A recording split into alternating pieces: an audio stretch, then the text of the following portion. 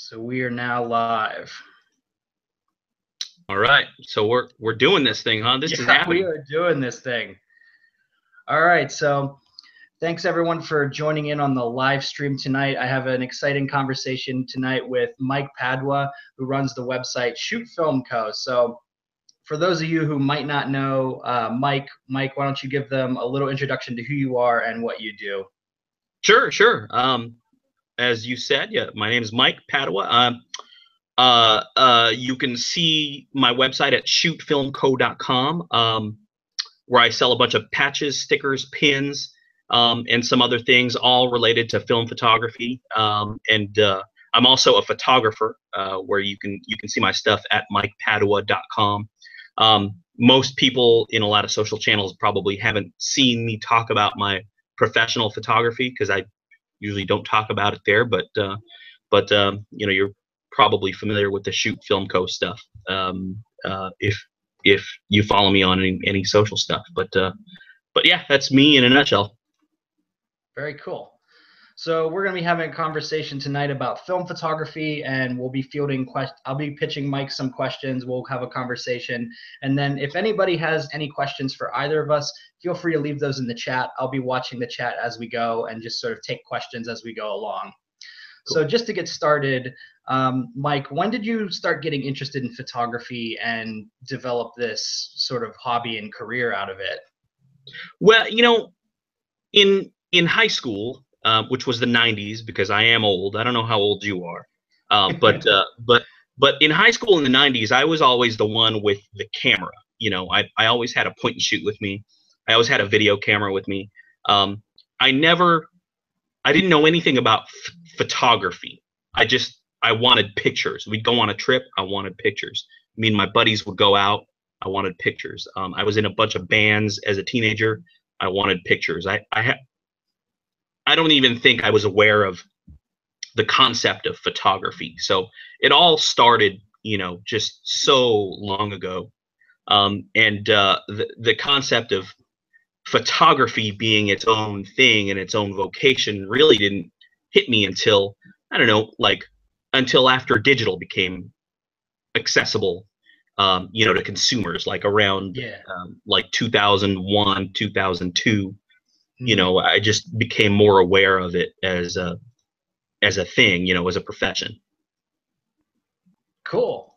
That's awesome. So um, i guess you know when you started getting into photography more professionally um, did you still continue to shoot film the whole way or did you sort of set it aside for a little while and and dive into the digital stuff so no, I, I, mean, I set film aside like a lot of people. Um, you know, uh, I think I picked up my first like serious digital camera in like 2004. It was like one of the first Canon digital SLRs, um, and then up until 2009, I didn't I didn't touch film. I did not shoot a single roll of film. So there was that like four or five year period. Um, and you know, the only reason I got back into it is because my sister uh, had given my older sister had given me this old Yashica, a manual SLR. She had given it to me. She shot it in high school as a student, you know. Um, and she said, "Oh, hey, you're into photography now. Here's my old camera." So, you know, I instantly fell attached to it just because, you know, it felt like this piece of metal from another time, you know, and um, and that was my back, my road back into film photography. Having now understood like exposure and composition through shooting digital for like five years. It was like, you know, I looked at that manual, all manual film, film camera, and I was like, oh my God, I know how this works. It's like, I know what that shutter dial does. I know what this aperture does. And, you know, it just like right back into film. That's awesome. So when did you get the idea, I guess, to start um, Shoot Film Co. and what motivated you to start getting in to to launch that site and uh, start selling, you know, badges and and the things that you have on your store? Well, you know, as a uh, again going back to my uh, to when when I was a kid, I was in um I was in a bunch of bands, um and uh, like I guess punk rock was a big thing in my life, and um and and back then you know you had to make your own shirts you had to make your own hats you had to make your own stickers you had to make your own patches.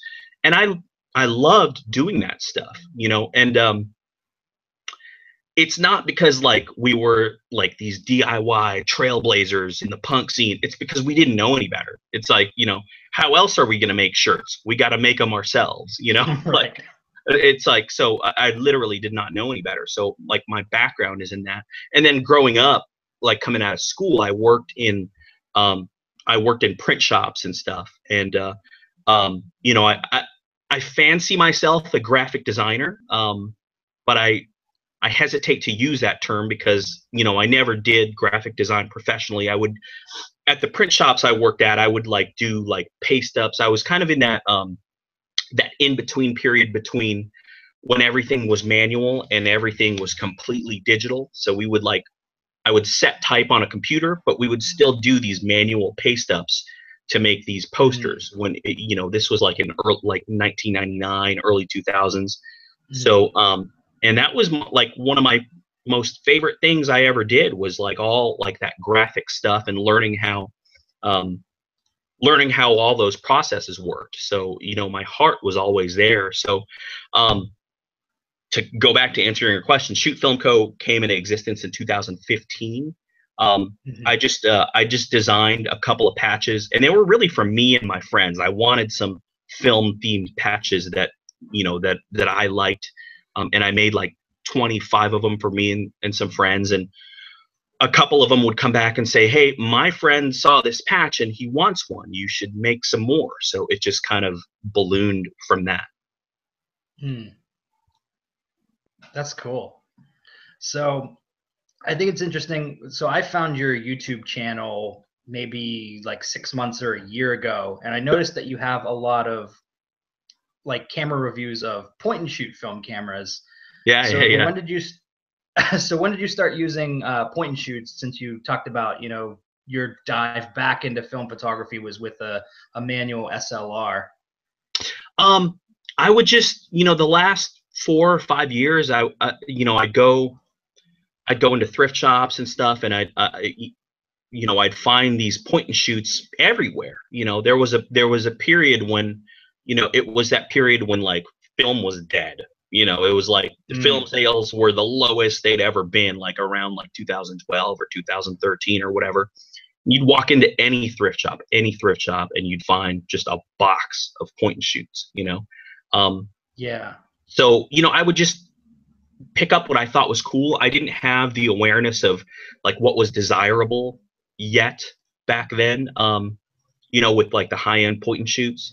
Um, but Yes. um, but um, yeah, man. I, like again, going back to when I was a kid, it's just like that's all I had in high school was a was a point and shoot. You know, I I didn't know how to manually expose a picture until like I had my hands on digital for a while. So it was like for a while there was it was only point and shoots, and then um, you know you just find these things everywhere, and and uh, you know you just kind of my personality is it's like when I'm intrigued by something, I I hit Google and I learn everything I can about it, just because like Yeah.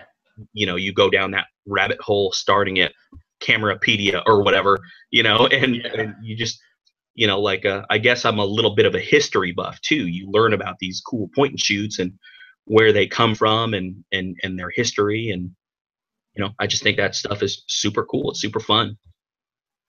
So would you say now that you do you shoot mostly with point and shoots for film photography or do you kind of mix it up a bit or like what do you prefer to shoot with at the moment? no you know what? Ironically i i shoot mostly with like manual stuff um just manual slrs the, the reason i talk about point and shoots a lot is because i have such an abundance of them you know but but i'd say like i'd say 75% of my shooting is all with like manual slrs or rangefinders i'm a big rangefinder guy um, and i just love that manual process. And you know the reason i again it's just i have an abundance of point of point and shoot so i talk about them a lot. Um, and also um, they're just as far as youtube goes i think you of all people know how hard it is to to produce and to shoot and edit and produce a video and get it on youtube that's a lot of work you know so Yeah. just with, with point and shoots it's kind of an outlet they're so simple so it's easy to to to talk about them because they're so simple. You know, that's why there's an abundance of of point and shoot reviews on my YouTube channel. Yeah.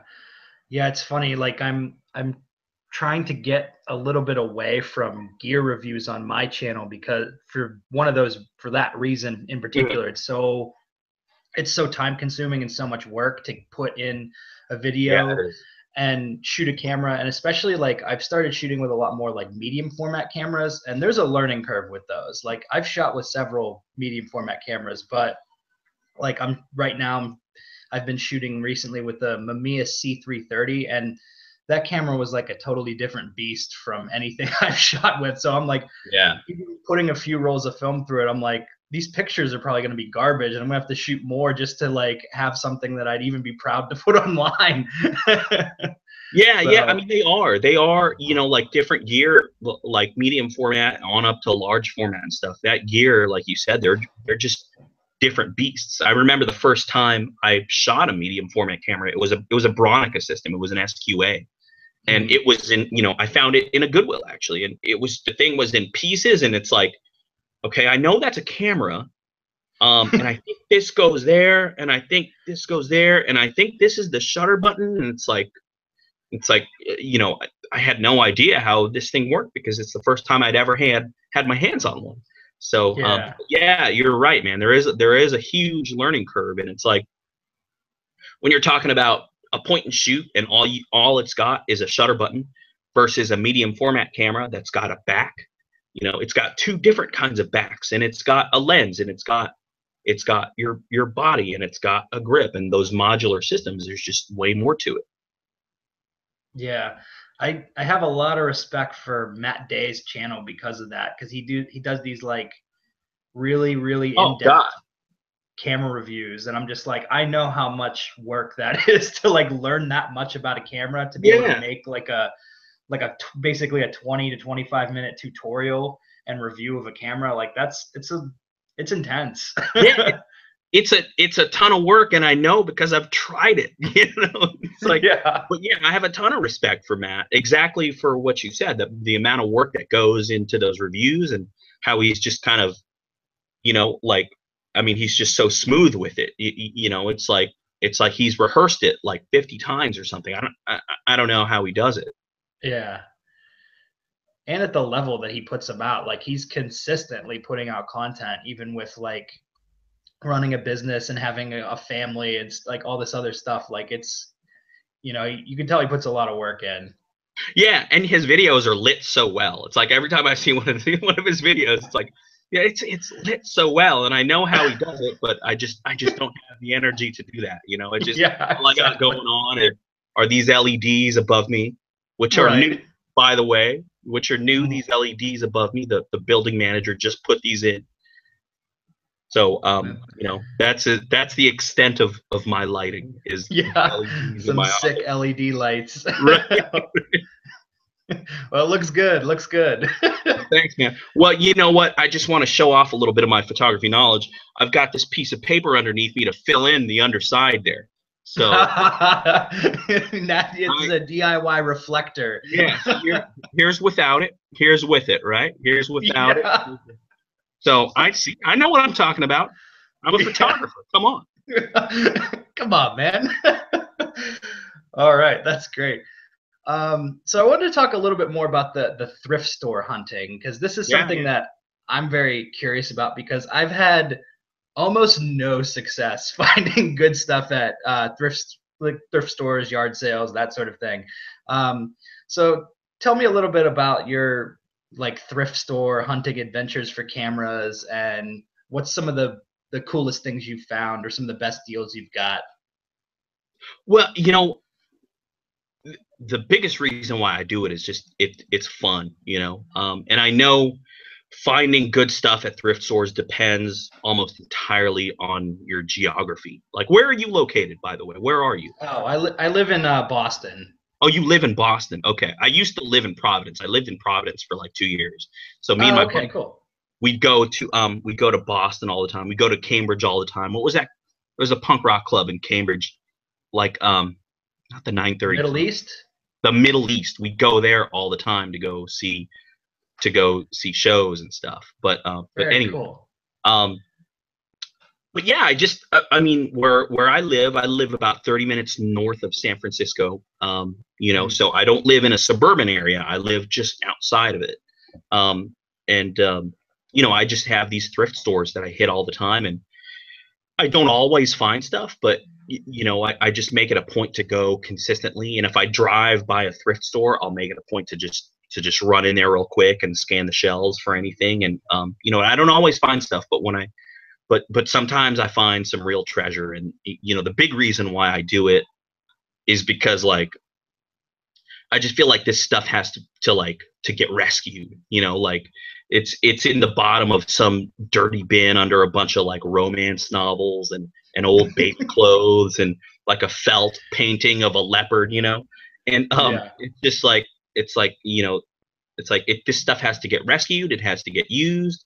Um, and it's just it's just cool stuff. You know, so um, but uh, but yeah, I mean um you'd ask the coolest things uh, I found. Um, a few things, probably a Nikon FM2N, which um, I found that at an antique store. Um, and the long story short is this guy, I was at an antique store in my hometown, and I go like I go inside. And I ask the lady, "Do you have any cameras?" And she says, "No, I don't have any cameras." So I go back, look, rummage through everything anyway, and I find an Olympus Pen EE2, and it was working, which is kind of rare because like they have that selenium meter with, that dies over time, but this one had a mm. lens cap and it was working. It's actually up on this shelf, somewhere on this shelf over here. um, but uh, and she was asking 25 bucks. I offered 15. She said, "Yeah, I'll take it." So I was I was over the moon. It's like I found a, an Olympus pen, 15 bucks. I was so stoked. And so I'm walking out of this place and I um and there's this guy smoking a cigarette on the sidewalk and he goes, "Oh, hey, so he sees the camera and he says, "Oh, hey, so you buy cameras, huh?" And I say, "Yeah, I do." He says, "I got a couple in my wife's shop right now. I'm watching her shop for her while she's running errands. You want to take a look and maybe you can tell me what I got?" And I go, "Of course, I'd love to take a look." So he pulls out a Nikon FM2, which I wasn't super familiar with Nikon stuff. I had actually never owned a Nikon before this camera. Um, but I knew, you know, just from cruising listings and eBay and the film photography gear group on Facebook, you know, I knew it was like 100 bucks, maybe 100, 200 bucks in great shape. And this thing was super clean. And, you know, I may have bent the truth a little bit with this guy on what this thing was worth.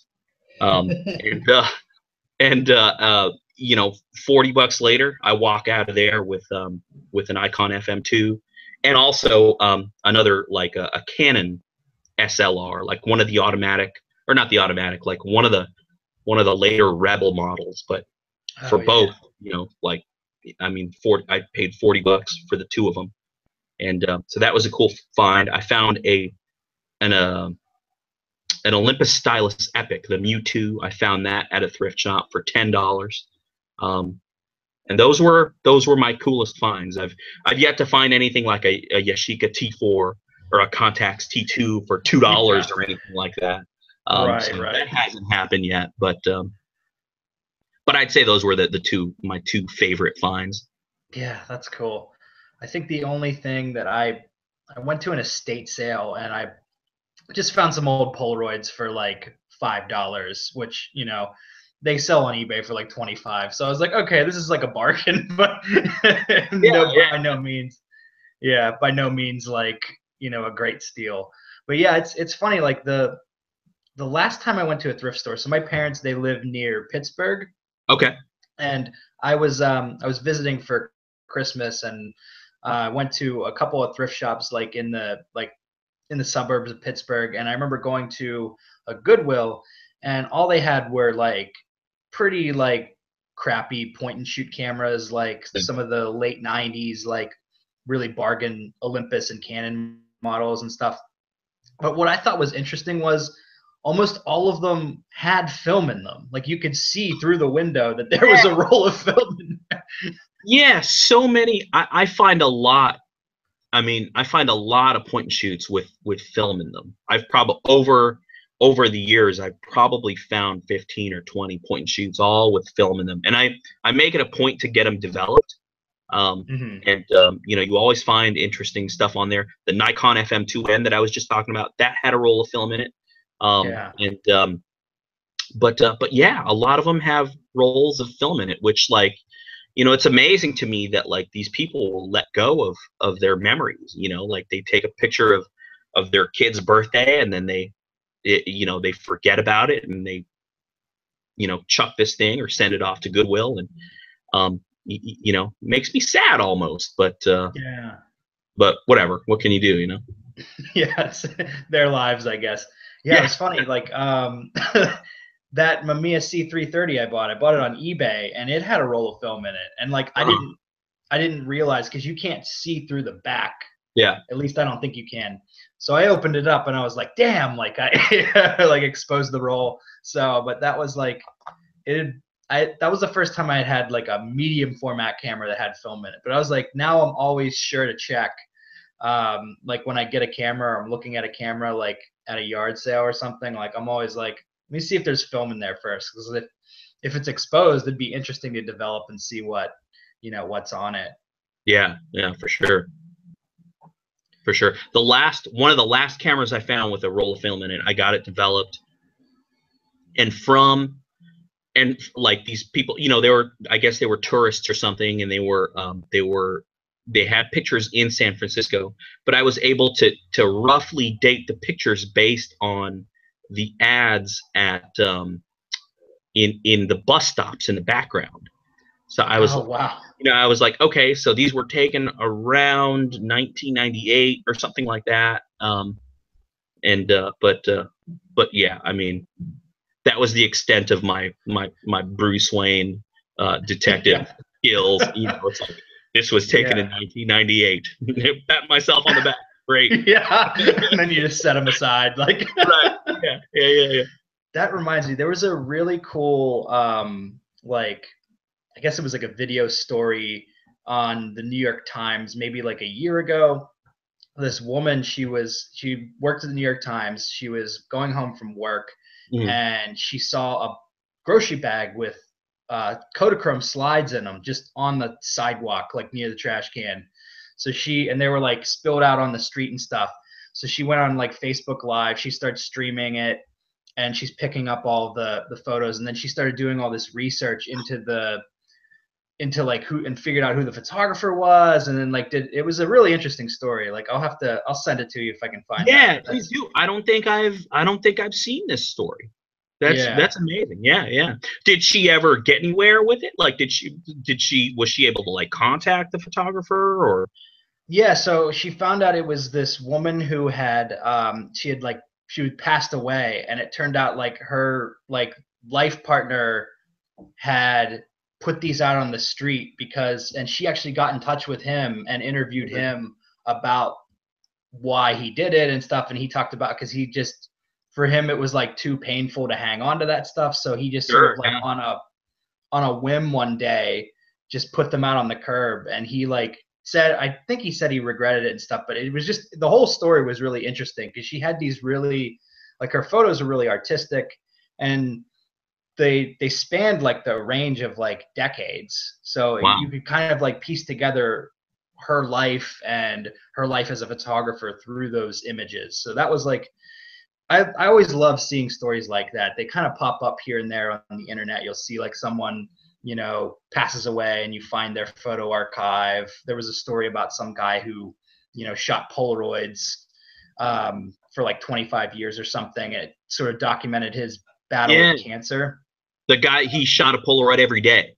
Yeah, yeah, I, yeah, yeah. I just saw that. I guess I guess that came out like a few years ago, but I just saw that story like a couple of months ago for the first time. Yeah, yeah, me too. So that was like you know it's fascinating to see that kind yeah. of stuff. So yeah, it's it's interesting like shooting with vintage cameras and stuff. It gives you this kind of connection to the past that I really enjoy. Like I know you mentioned you're you're a history buff and and I am as well. So that that's sort of like I think that's one of the things that draws me into film photography to some extent is like this connection with the history of photography yeah absolutely absolutely and that's that's a big part of the reason why i love um you know not just photography um and the you know the results that our cameras give us but it's one of the reasons I love cameras too. It just it gives you a connection to another time, to you know, to other people, to other cultures, you know, stuff you wouldn't normally see. You know, when I see some dusty old Minolta in like a junk shop somewhere, it just it just makes me think like where has that thing been? You know, what has what has that thing captured? Like who um who who did that thing serve? And that that's just um you know, I'll I'll never be able to answer those questions. Mhm. Um but um that stuff is just it's just really intriguing to me. I just want that stuff to to to carry on its its life. You know, I don't I don't want it to die in the bottom of a bin somewhere. Yeah, exactly. And then it's interesting too, especially with like the old mechanical SLRs, especially from like the 70s. Like, Yeah. those things still work like new if they've been even remotely taken care of. Like, Yeah, yeah, absolutely. And and and in a lot of instances, even if they're poorly taken care of, you could probably clean them up a little bit and, and get them working. So, Yeah. but yeah, you're you're absolutely right. The way they were built, you know, they, they're just simple, fairly simple machines. But uh, you're absolutely right. yeah. So what's um what's one of the weirdest film cameras you've you've shot with? Because I know you've you've talked a little bit maybe about um just some interesting cameras that you've like run across. Uh one of the the weirdest. Oh, that's a really good question. That's a good question, huh? Well, you know, stuff I always run into are like one, I guess 110s. You you familiar with those 110 cameras as a as a Never kid? shot with one, but yeah, I know what they are. as as a kid, the only cameras that I knew of were the cameras that my parents had, which was a Polaroid in one hand and a 110 in the other. You know, Yeah. um, a- and, so I found um, a couple of months ago I found a Crayola 110. It was it's just a regular 110 camera, but it was all colorful, like yellow and green, um, and it was Crayola branded. So that was a weird camera Um, a weird camera that I got but never shot with. Actually, I'm going to show it to you. Hold on. Perfect.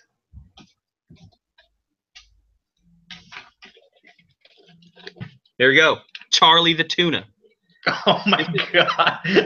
This is a, a this is a 126 camera, and there's the viewfinder right there.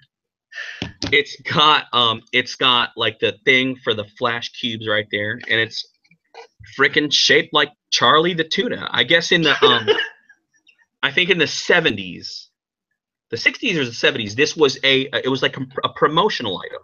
So you'd get these cans of StarKist tuna, and then you'd send them, you know, two dollars for shipping and handling, and then you know, like four UPCs or whatever, and they send you back this amazing marvel of of art and engineering, um, which then you could proceed to make memories with, you know. so my buddy, I I credit my buddy Eric Eric Keskes, who is this amazing graphic designer, friend of mine for many decades. But he found this thing for me, and you know, like he just he knew I would want it, so he picked it up and he gave it to, he gave it to me, and uh, so I've never shot with it. I, like I really should try to shoot with it, but this is by far the strangest camera that I own. Charlie the Tuna. yeah, I I think you owe it to the internet to shoot with that camera and make a video on it. Like that, I really do. You know what? that I'll- is I'll the just- that is the peak of uh, photography engineering right there. I mean, those optics have to be amazing, right? Yeah. Oh, I remember um, when Kai was still on Digital Rev, he did a video of uh, thi- this uh, this Barbie camera that had a 0.3 megapixel sensor Yeah. in it, and he went and Yeah, shot yeah. street photos. yeah the, um was it like the the the cheap camera like protog challenge or whatever like it wasn't. I know what you're talking. It wasn't one of those actually. It was one where he just went out and he was oh he shooting just like went out with the barbie camera yeah. So he's like at this pier shooting, like trying to do candid street photography with this Barbie doll. it was just, just That's so awesome. funny. yeah Oh man, but yeah, I that's that's a gem. I did not ex- like. I was glad I asked you that question because I I had a feeling you would have had something like really bizarre like that. i So- almost i almost forgot about this thing i was I- like i i totally almost forgot about it but uh but yeah yeah i'm i'm, I'm glad you asked and i'm I'm glad I remembered. Charlie the tuna. I'm glad Oh, it was man. here, actually. I'm glad it was here. Otherwise, I would have had to, like, okay, let's shut this thing down. I need to run home, get the tuna, so I can prove to the world that I have this thing. yeah. That's fantastic. So what's what uh, this is always like a you know hard question to answer, but what's your favorite camera to shoot with? So, um, uh, so right now, I, I hate to be one of those guys, but I have a Leica M6. I have a, uh, so you know, I'm not a dentist or anything, uh, but I, I do have, I do have a Leica M6, and like I like I talked about earlier, I'm a big rangefinder guy. I love all manual stuff. So my Leica M6, which has been my dream camera for many many years, um, you know, which I finally just got like a few months ago. Um, that's my favorite camera to shoot with right now. Um, also, that Nikon FM2N, um, that thing is amazing. Uh, I go back to that. I kind of go back and forth between the Leica and the Nikon FM2N. Um, and every time I go back to the Nikon, I'm actually I'm amazed at how small the body actually is. I mean, Yeah. you know, people talk about how Leicas are small and discreet, and it's like I'm a pretty small guy. I'm I'm five three, so my hands are not huge. So a Leica to me is not that small, um, and it's not Right. that discreet. It's still a black box about this big in front of your face, you know. Um, but uh, but I mean, I kind of gravitate between between those two. Um, and then I guess I have a camera that I'll never get rid of that I love is that Yashica that my sister gave me. Mm. Um, it's an FX3, you know, all manual. It's got a meter. Um, it's got just these three LEDs. It's like over, you know, right on, like middle nailed gray or yeah. whatever. Um, yeah, and and it's just completely manual. Like nothing. There is literally nothing to this camera. There, it has no features other than like a shutter button and a you know like the shutter speed dial. Um, but um, and I love that camera. I I break that out every one you know once every couple of months or so, just to make sure that thing's getting some love because that's like out of all my cameras, which I don't know how many I own, that's the one I'm never gonna get rid of because Yeah. you know my sister gave it to me. Yeah. You got that sentimental attachment. Yeah, yeah. Yeah, I have that similarly with um, my dad gave me a Canon FTB, and it has an interesting backstory with it too. He was in the Coast Guard, and he was stationed near somewhere near Seattle, Washington, sometime in the early '80s, and he bought it at a Mhm. pawn shop, and that camera's been with him all over the place. And then it actually like it sat in a drawer for a long time, and when I was younger, we had like a house fire, and that camera actually survived the house fire, and now I'm shooting with it, and it still works like nothing. It was in the house fire. like it didn't. It was stored away so that it pretty much didn't get as much of the brunt Okay. of like the smoke damage and stuff, but like still, like I remember like a lot of our stuff was just totally destroyed from like smoke damage more so than the fire because it just leaves Yeah. this like nasty soot on it. Mhm. and you know the lens was great. Everything still you know works perfectly fine. Like i dusted it off a little bit when he gave it to me and like just started shooting with it. And interestingly like you know you talked about your you basically learning how to become a manual photographer with digital. I kind of did the reverse where i was shooting a lot more like automatic modes on my digital cameras like i would use aperture priority and stuff like Mhm. that but i never really ventured into manual mode when I started shooting with this camera, it's like you don't have a choice. Like there is no there is no aperture priority. You mean I have to set everything? Yeah. so I, I learned pretty quickly, and now like on my digital cameras, like I never use any automatic modes. I always just use manual, and Yeah. You know it's that's the way I like to shoot now. And I credit a lot of that to starting to shoot film and starting to shoot Yeah, that yeah. camera in particular. Mhm. it's just like it's really engaging when you when you choose all the settings when you make all the, the decisions that's one of the reasons the many reasons i love photography is like just engaging um, engaging a scene and making all the decisions about how that is going going to be exposed um, that's Mhm. just a lot of fun and you know when i when i learned how to expose manually on digital it wasn't because I was, you know, it was not because I was like, I'm going to learn how to do this because, you know, I'm a student of photography. It wasn't that. it was like I had I had no choice because I was shooting a lot of theatrical productions, live theatrical productions. Yeah. That's where a lot of my business was. Um, and so um, the meter would just be completely off because you'd have an actor that's lit by a spotlight, and then you'd have um, backgrounds that are near black. So the meter is just like, just no, wrong, you know. So like auto modes just do not work in that setting. So it's like, okay, I have to learn how to use a spot meter and I have to expose manually and I have to make those decisions myself if I want to be able to take these pictures. So it was like literally trial by fire. And once I once I went into that manual mode, it's like just like you said, it's like that's how I prefer to shoot now. Mm-hmm. It's like there's no going back. Right. Yeah. So we have um, Charlie in the chat has left a, a question. Uh, what is your opinion on half frame cameras? I just bought an Olympus Pen S without doing any prior research.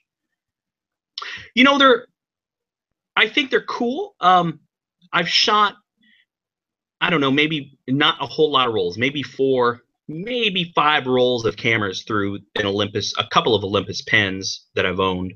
Um, and they're fun. You know, I think the number of frames that you get with it can is kind of is kind of a con rather than a pro. Right. Is because like i'm so programmed to like 36 frames and it's like that's it you know? It's like my muscle memory kind of knows when it's like oh my god I, I probably only have two frames left. It's like yep mm. i'm right. Like i'm on my last frame.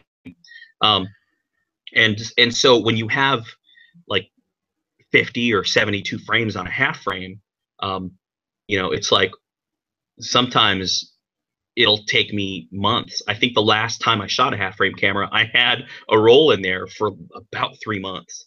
So yeah. you know, that's that's really my only complaint. I mean, you could you could view that as a complete pro, as you know, like a something it's got going for for it. But you know, for me, it's like that's almost that's too many almost.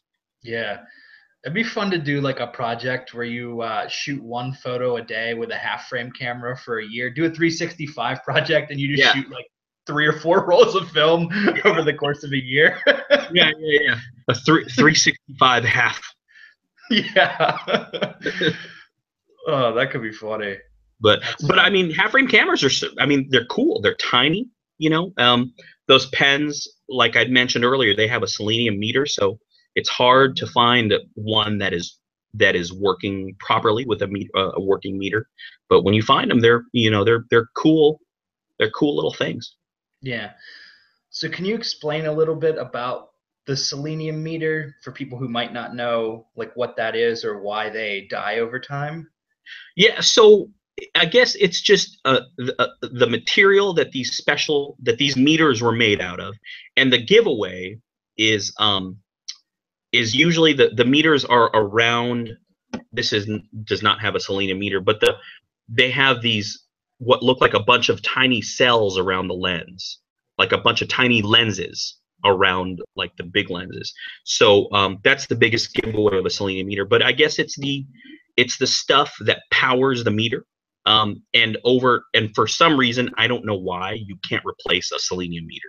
Um, they just you know they last a long time but they just if they are exposed to light, then the the material, the the energy is slowly draining. Um, mm. So over years, like if you find a pen or anything with a selenium meter that doesn't have a lens cap on it, it's likely not working because it's been basically it's been on all that time.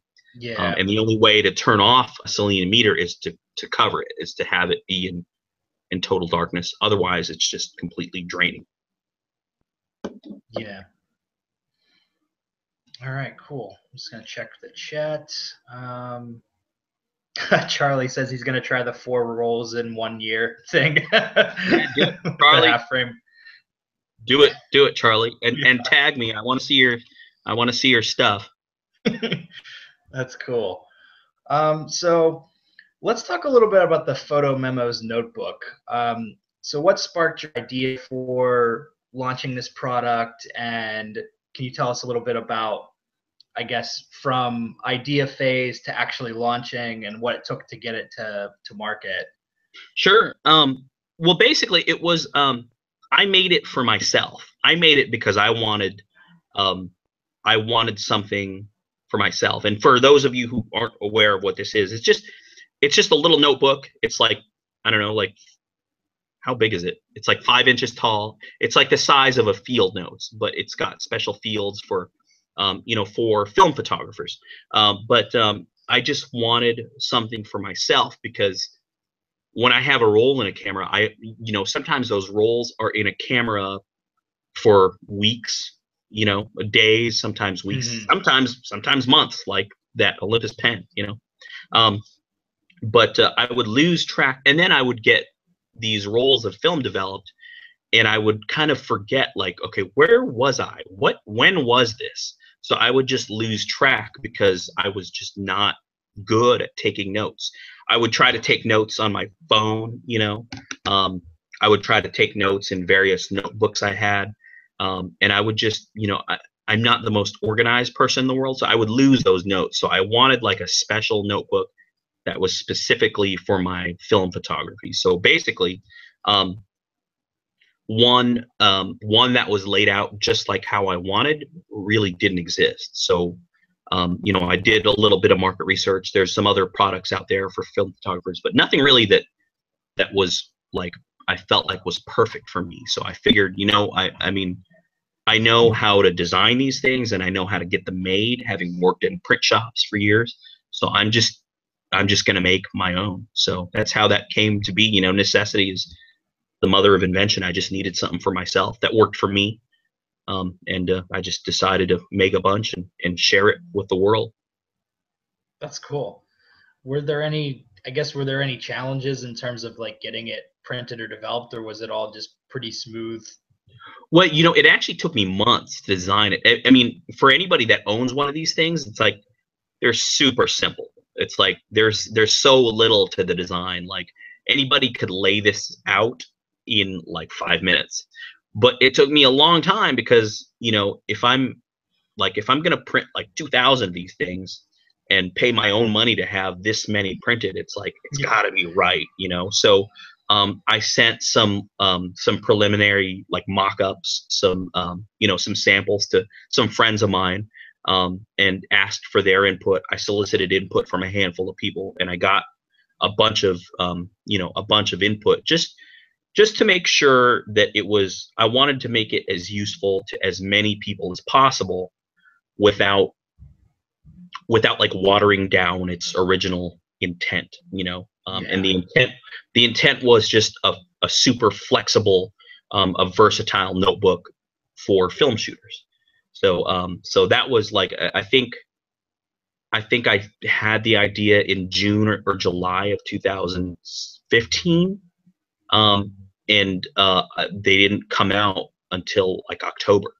So um, there was a good long while between when I started this thing and when it actually, um, you know, when it actually came into existence. So um, that was, you know, again, just going back to like, I'm, I'm going to have 2000 of these things printed. Like I can't like screw this up, you know? yeah. and there was there was there was a while too where it's like the layout was done, it was done, but I still sat on it for like another three weeks because I was I was just real afraid to pull the trigger. It's like, what if I find a typo after it's printed? You know, so I proofread it. Like, I proofread it like 50 times. I asked my wife to proofread it. Um, and uh, but uh, but yeah, that was like the, like that time was just the, the biggest hurdle. That's cool. Yeah, I, I think that's such a useful thing to have. Um, for me in particular, I've tried to do the same thing where I like will take notes on my phone, and I never seem to follow through with them, or they get buried amongst other notes that I I put in there. And yeah. you know, especially like since I started the YouTube channel, and I started getting a lot more cameras and shooting a lot more different films. I really started to lose track of like even if I had a roll of film in a camera or like what I put in there. Like I remember recently I um, I don't have the camera anymore, but I used to have a, an FM2N, mm-hmm. and I picked it up and I didn't think there was film in it, and then I looked at the counter and it was at one, and I was like, "Oh my god, I've loaded film into this. I have no idea what's in here." yeah, dude, I, I I forget what film I load in a camera that day. It's like, what did I yeah. what did I put in here again? Like four hours ago? I I don't remember. like, uh, you know, my mind is just everywhere. So it's like I need to rely on my notes. And I was the same way too with my phone. Like, I love my phone. I love this technology, but um, you know, there's just something to be said about having a pencil or a pen and putting that thing down on paper. And yeah. you know, the other thing that was important to me too was that you could use a notebook to draw or to you know to sketch or you know you don't mm-hmm. have to use it for um, you know for your photographs. You can use it for for anything you want. So that was important to me because you know like typing on a touch screen and having a pencil in your hand are two completely different experiences yeah. you know. Um, that was a lot of the the pushback i got from i mean not a lot of people but from some people you know. A lot of what I heard was it's like, isn't there an app that does that? And yeah, there is an app that does that, but it's like I don't, you know, like I'm in front of a computer all day anyway. I don't want to be like, you know, taking notes on, you know, what film I loaded, you know, yeah. and, um, you know, I just want, I just want to use a pencil and I want to put it on paper. Yeah. No, that's that's great. Yeah, that's that's one of the things too. Like we're all buried in our phones so much of the time anyway. It's yeah, like yeah. to have a to have something where you can, you know, take a step back from that is nice. Yeah, absolutely, absolutely. And I'm like I'm I'm as bad as anybody. You know, it's, like oh, what's going on on Instagram. It's like what's what's going on on Twitter. What's going on on Facebook. Yeah. I'm as bad as anybody. So whenever I kind of get a break from that, just to give my eyes and my brain a rest, it's it's it's a good thing. Yeah, yeah, I think one of the things that I would like, I need to start doing, I think, with my film photos is writing down the settings. And not even so much for me, but like people will, I will do a video on like a film stock or a lens or a camera review or something, and I'll share photos, and people will be like, What did you shoot that at? And like, I just I don't, don't, remember. Like, yeah, yeah, yeah, it's like I just know I exposed it properly at the time. Like, I, mm-hmm. I often use a um, a light meter app actually like on my yeah. phone to get the settings and I'll just sort of go with that. I mean, I have a couple of like go-to apertures. Like if I'm shooting portraits or something, I like to have the the bokeh or the blurry background. So I'll shoot like f4 or wider. But you know sometimes you can't do that if you're in the middle of the day. So i'll be like i don't really remember what i shot this at. I just know right, what film yeah. stock it is. Yeah especially those those odd apertures. It's like oh i was at f6.3 you know? It's like yeah exactly. I don't, like, I don't, I don't know, know. i just it was it was two clicks to the left you know? Yeah I remember um, one time I went out to take uh, long exposures. I was just starting to get into long exposures on film, and I really wanted to record the settings because I was like practicing and somewhere I was taking notes on my phone and somewhere along the way like I got them jumbled as to like what what shot was like what length of exposure. I was shooting all of them at like the same aperture and and ISO. Um, but I just lost track of the shutter speeds. And I had this one shot that I really liked of like a train passing. And people have asked me like what's that? What was the exposure settings on that? Like how long did you leave the shutter open? And i'm like i don't even remember. Partially because i was holding it open manually and i just let go as the train was coming by and hoped that it was exposed properly. But i just didn't take good enough notes to even like yeah. go back to that roll of film later and all the photos that are on it i know i shot most of them like 10 to 20 seconds but i couldn't tell you which one was which yeah, yeah, and that that's that's important, especially like as a learning tool. Um, you know, when you're when you're trying to achieve consistency with how you expose things and how you develop things. Um, you know, writing the stuff down and referring back to it later is is is pretty valuable. Yeah. So let's talk about um, film stocks a little bit. Uh, do you? we'll go the all uh, the all encompassing photo. Do you prefer to shoot with color or black and white? you know i'm a i'm a i'm a color guy i'm trying to shoot more black and white um, i just got a 100 foot roll of hp5 that i'm that uh, I, I started bulk loading that i Um, I haven't developed my own film in a long time, in like Mhm. four or five years. Um, so I want to get back into doing that. It's just a matter of time. Um, but um, I mean, I've been shooting. I've been shooting color um, for you know for as long as I can remember. I never I never really was a black and white guy to begin with. You know, um, the Mm. only reason I shoot black and white was w- just kind of when I was learning to develop film years ago. Um, but um, and I like black and white. I just I don't have a special connection to it yet, like a lot of people do. You know, I didn't Yeah. I didn't grow up um, in that era or in a culture where it's like you know true photography is black and white. You know, I didn't I didn't grow up around that, you know. Um, and so and so just my habit goes to and I don't have a problem with black and white, but I just my habits go to color. Yeah. No, I'm the I'm the same way. Like I and I it's funny because like a lot of people in the film community, they're like, man, that would be great if it was black and white. Like Right. like I'll share a portrait or something on my channel that I shot on Mhm. film. Like, yeah, that was cool, but maybe you should have shot that with black and white film. I'm like, Yeah. well, I just like the colors better. Right. Like even when I like when I shoot digital, um, you know, I'll shoot in raw and sometimes I'll process on black and white. And there was a there was a point in time where I was like I was trying to get myself to shoot more black and white Mhm. and I'd process a photo like black and white and color and I always preferred the color. So I just Yeah. embraced that at some point. I was like I'm shooting color film, I'm shooting, you know, color digital photos and I just kind of went with that. Recently I've been like pushing myself to shoot a little bit more black and white and I want to do some videos on black and white film on the on the channel um, but yeah like i've been you know i've been shooting mostly mostly color stuff and just trying to find that right stock like i've i've shot with a di- bunch of different ones so what are some of your like go-to's for for color film Um, I like cheap stuff, man. Um, you know, I hate to be that like Clint Eastwood get off my lawn old guy, but like just you know, when I was a kid, like all all I knew was cheap stuff. I didn't know there were pro stocks, you know. right All I knew was that you could get film for like five dollars or six dollars for a box of five at Costco. I don't know, like I don't know if you remember that, but Costco used to sell film for cheap. Um, oh, and yeah. so that's what uh, that's what I would go get, man. You know, and that stuff, depending on what ISO it was, it was either or what geography you were in, you know, what part of the country you were in. It was either rebranded Agfa or rebranded Fujifilm, and I always got the Mm. 400. And like, if you look at my old Costco negatives, you can just tell, like the markings and stuff, you can just tell that stuff was was Fuji. You know, um, just Fuji ISO 400. So my eye my eyes always just gravitate to that it's like when i have a when i have um a picture in my mind of what a picture should look like and what colors should be um that old cheap costco stuff or you know whatever drugstore stuff that's just where my mind is you know?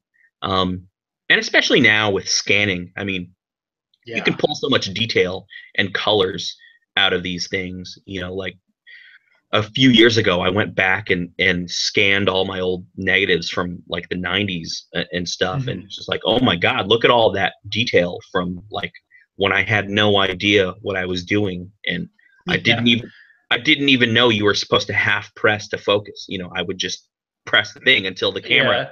flashed or made made a noise or whatever. But like, look at all that that amazing detail in these negatives. But um, you know, but I like the good. I like the good stuff too. You know, like I just went on a trip.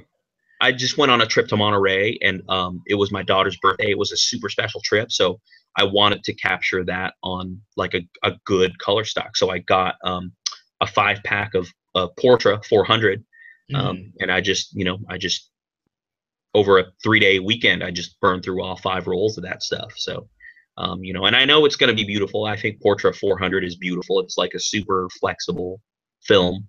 Um, yeah. and um, you know, again with scanning and and Photoshop or Lightroom or- or whatever, there's you can make it almost look any which way you want. You know, but uh, but um, but yeah, I mean, I always gravitate towards like the cheap stuff. Whenever I need to stock up on some color film, I'll just get like a 10 pack of Kodak Ultramax or whatever, yeah and um, and uh, just it's like just roll I'm done. I'm done. I got what I need. You know. That's awesome.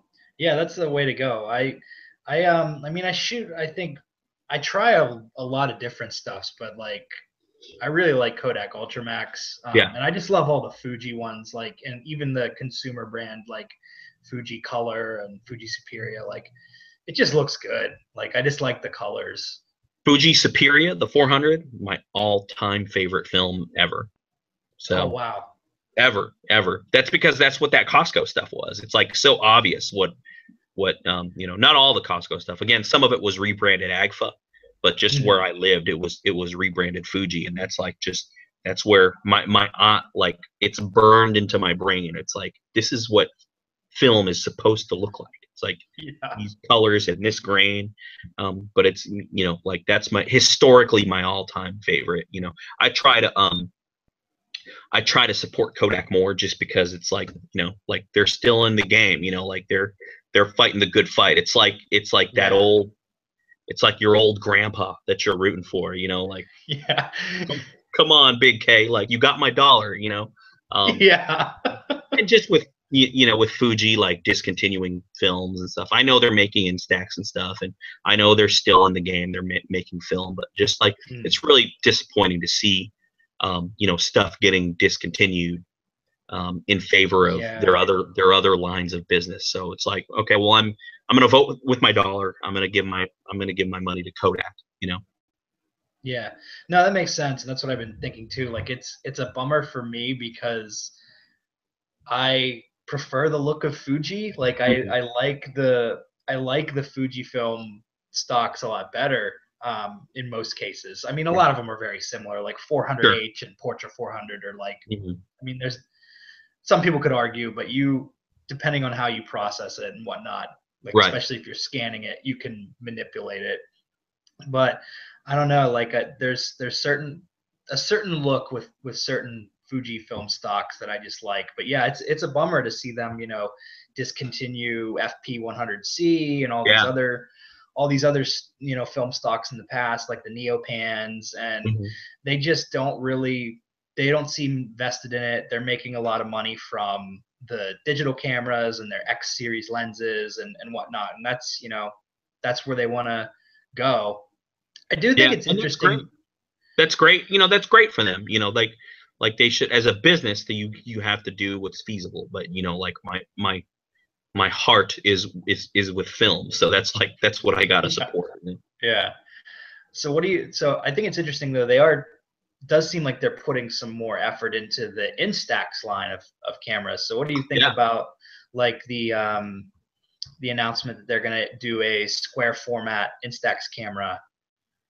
You know i think it i think it's cool. I, I think anything going towards like analog chemistry and, and film and you know i'm i'm all for that. However i'm i'm not the biggest fan of of instant film. I'm i'm just not Mhm. you know like again going back as a kid it's like we had a polaroid we had an sx70 one of those rainbow ones you know with the red oh, button. cool. Um and i love that thing. We still you know i still have my family's old pictures but but now um you know that's instant film doesn't really like it doesn't i guess it doesn't capture my heart the way like like tr- like negative film or, or or slide film does in like a manual uh, you know more traditional film i guess what, what you whatever you would call it. So um, i'm all for it. You know i actually have um, I bought that Lomography, that one that they kickstarted back in November, like the oh yeah yeah the, the automat or whatever. That's sitting in a box unopened behind me. Like I wanted to support them. I wanted to support them because I was like, okay, you know, they're, they're in the game, they're doing this. It's like I'm gonna I'm gonna I'm gonna support it, you know. Um, and they shipped it like back in November or something, and it's been sitting in a box unopened behind me, like like like just you know my heart is not really with with instant photography like you know i'm eventually going to break that out and use that thing but um it's just my my heart isn't there Yeah. Uh, so we have a question in the chat. Um, how do you scan your film? Is there any real difference between a dedicated film scanner and a regular one? uh so i have a couple of scanners um right next to me i have an epson v500 um but i also have a Pakon which is like um, it's like a it's a mini lab scanner where you take the whole roll of film and, and then it scans the entire roll of 36 frames in like about five minutes. So for Oh, anybody wow. that's ever scanned a roll of film on a flatbed, um, it it takes on this V500 I have next to me, a, a roll of 36 takes me about an hour to scan. So Yeah. um, that's a long time, you know, versus Yes. five minutes on a Pakon, um, which uh, you know that's kind of a no brainer. Plus the Pakon, it was um, I don't know exactly what their involvement is, but it, it, it's it was made in with involvement from Kodak. So obviously the colors from it are just phenomenal. Um, so yeah. so that's how I that's how I scan my film for the most part is is a Pakon. You know the the pros and cons are you know the downside is it's it's a low resolution scanner. It's like a three. I have there's a couple of versions. There's a plus and a non plus. Um, Mhm. I have the non plus. Um, it's like a three mega megapixel scan, which is it's still pretty good. You know, it's still like it's like 2200 pixels on the long side, which is plenty of resolution. It's just when you say three megapixels, it doesn't sound like a lot. You know, Yeah. Uh, the the plus is a six megapixel, um, but you know on the long side it's like 3000 pixels. So, uh, like a yeah. a, a- three versus a six. The six is really not that much bigger if you think about it. It's like it's like 2200 pixels on the long side versus 3000 pixels. So, Yeah. but, um, but that's my favorite method is the Pakon because one, the the the pictures look great. Obviously, the color is great. Um, it's a dedicated film scanner. Um, but uh, but if I do need like way more resolution, then I'll put it on the the Epson. Yeah. Yeah, I have the uh, Epson V600, and Okay. one thing I will say is if you're looking into scanners, Charlie, um, a lot of the like regular flatbed scanners, you can't scan film on them because they don't have like the software can't support it, or they don't have the film holders to um, place the film down. So I think it is worth getting a film scanner of some sort if you do plan to scan a lot of your film at home. So for me, I I'm in the same boat where it takes me about an hour if I want to scan, you know, a roll of 36 exposures. And one of the things that I learned from scanning my own film is dust inevitably gets on yeah. photographs. And Yeah. so I was there was a point in time where I was I was scanning all my own film. I was getting it developed at a lab with like a one day turnaround. I'd bring it home, cut the negatives, scan it, and then clean up the images in post. And the workflow just became so much that now I just I send all my film to the darkroom.com and they do Mhm. like develop and scan for like 11 bucks a roll. And it's worth it to pay like I think I was paying like nine dollars a roll, you know, at at Yeah. the local yeah. lab I was using. It's worth that two extra- bucks to get your hour back. Yeah, exactly.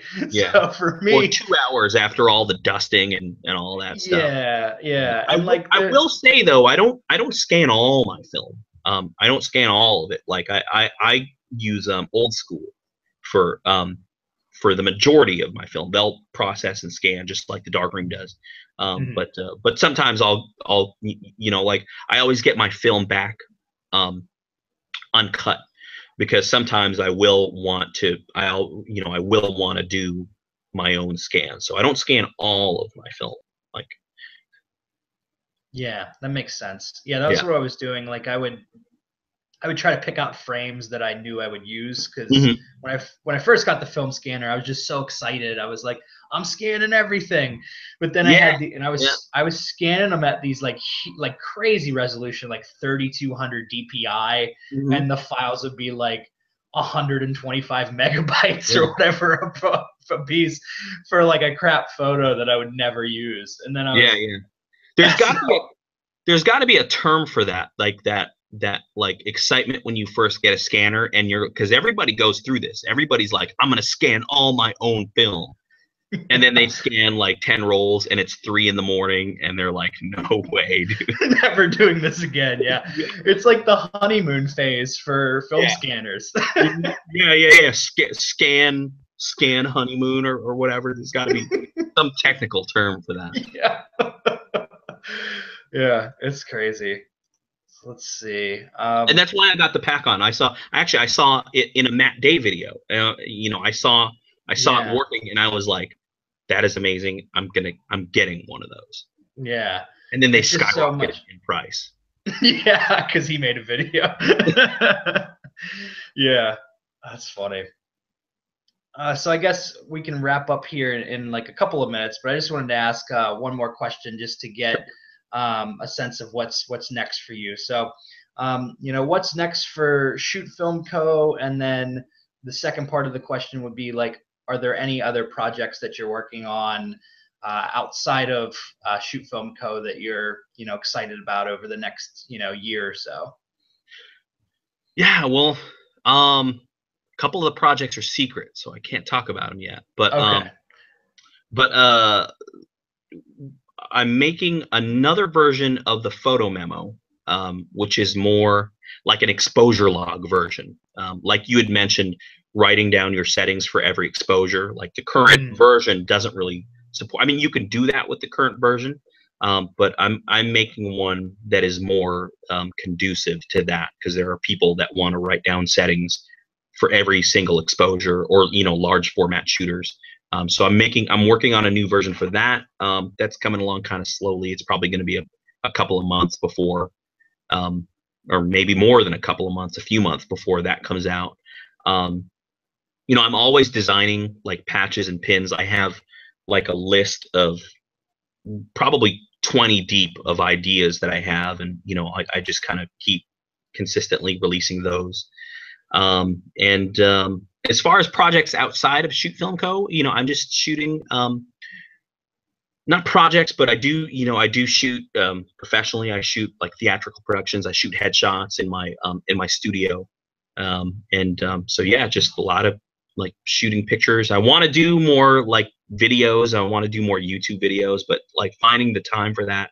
I've got a couple of kids, so finding the time for that, along with Yeah. the business, the businesses, um, you know, is is a is a pretty hard thing. But you know, I, I want to uh, I want to make the time to to make some more videos. So hopefully soon, I'll I'll, All I'll make more videos. That's awesome.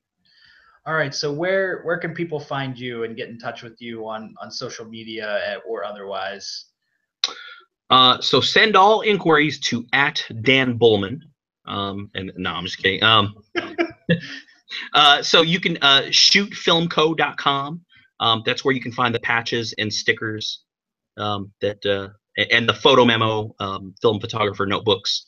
Um, uh, if you want to see my photography, you can go to mikepadua.com, M-I-K-E-P-A-D-U-A.com. Um, you can find me on Twitter um, at Mike Padua. Um, and you can find me on Instagram at the Mike Padua, uh, which I had to use because some other guy took at Mike Padua on Instagram. Mike Padua. Yeah, yeah, yeah, There's, there's some other Mike Padua out there on Instagram. and he got he was he was an early adopter. he was an early adopter, exactly. So that's what I get. So now every time a new um, social media thing comes out, it's like I'm on it. That that name is mine, Mike Padua. yeah. I'm not gonna let this other guy take it. That's great.